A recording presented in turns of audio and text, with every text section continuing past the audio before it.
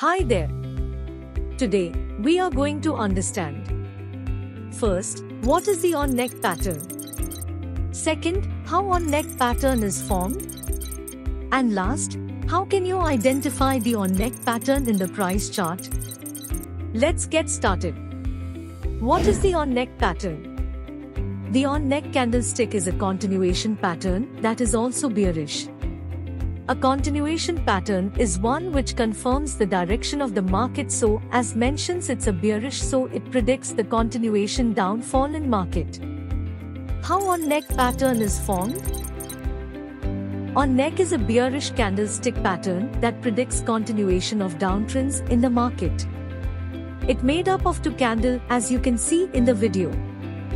The first candle is a long bearish candlestick pattern in red color and second one is a small bullish candlestick pattern in green color. It formed when market is in downtrend and predicts the continuation of trend.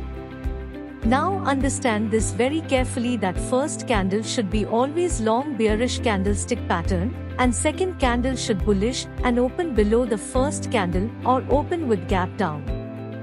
How can you identify the on neck in the price chart? To identify this pattern in the price chart, I have just opened the State Bank of India stocks price chart. As you can see, the on-neck pattern was made in the chart with all the major applied rules so the market should continue its trend and it does.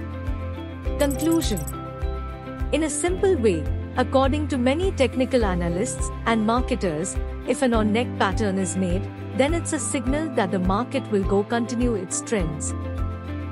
If you want to get notified about major candlestick pattern then download the app now.